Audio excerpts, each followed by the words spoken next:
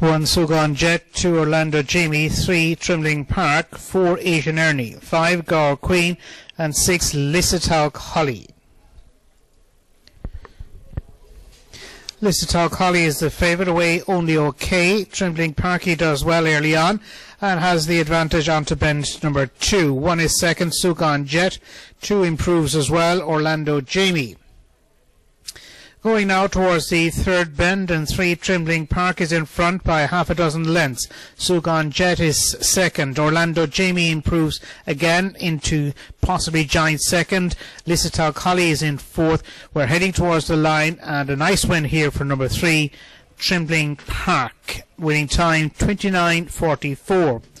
The win for owner trainer Thomas Flanagan in a Steinman.